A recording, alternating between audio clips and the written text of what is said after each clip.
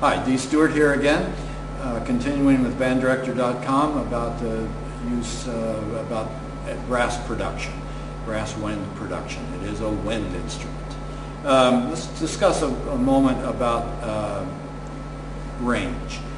Um, range is basically a, a, an out, uh, a byproduct of the way you use your air.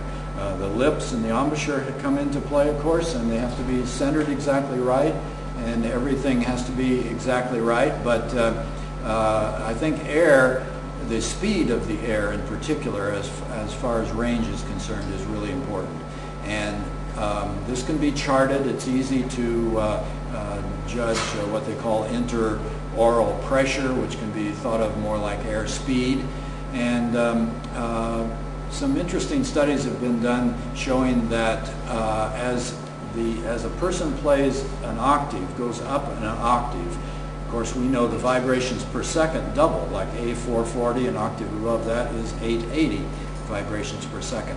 But it's also interesting to note that the intra-oral pressure, the pressure inside your mouth, doubles. So in other words, uh, it's probably not good to say to a student, talk to a student about pressure, because that could be like doing that sort of thing. But maybe discuss it more as an air speed doubling. So you might relate it to car speed, for instance, 30 miles an hour for a, a, a middle B flat and 60 miles an hour for a high B flat.